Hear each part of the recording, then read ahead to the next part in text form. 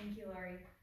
As I mentioned previously, there are several efforts underway that are relevant to the partnership area and are happening in parallel with this planning process.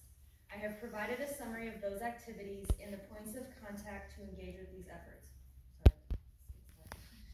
Technical work to update the lower Santa Fe and Ichetucknee rivers and associated priority springs has been completed.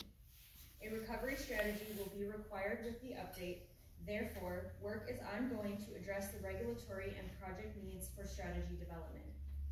There are three efforts underway to support the adoption of the updated MFL.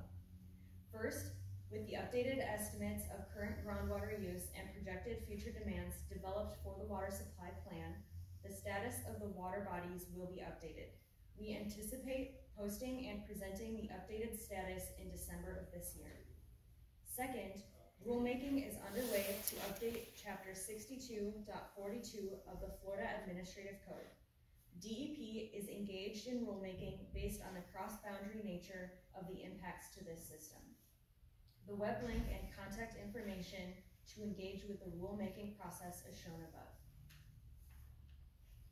Third, project development is underway to support the recovery of the MFL. Stakeholders with project concepts can reach out to the Suwannee River Water Management District projects team to develop recharge, alternative water supply, and water conservation projects to support the recovery of the system.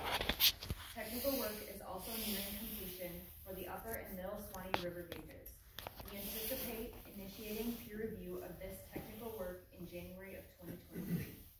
Public comment will be solicited in parallel with the peer review process. Upon completion of the peer review, a status evaluation will occur.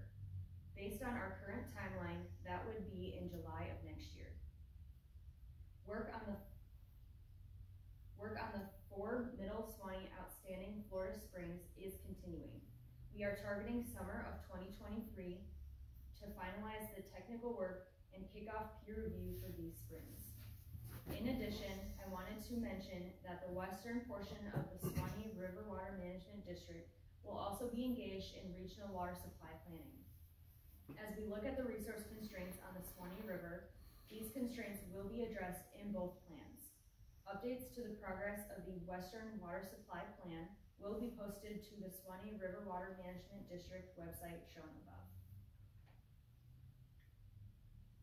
With that, we conclude our presentation.